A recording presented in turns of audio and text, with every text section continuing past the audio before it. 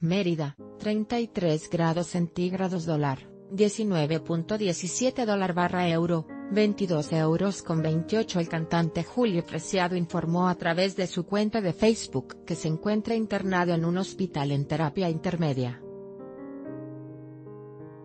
Esperando tener una pronta recuperación con el apoyo de mi familia, pero sobre todo con el de Dios, de momento estoy en terapia intermedia publicó el cantante junto a una foto en donde se observa acostado en el cuarto del hospital con suero y oxígeno. El ex vocalista de la banda El Recodo, no especificó las razones por las que se encuentra bajo vigilancia médica.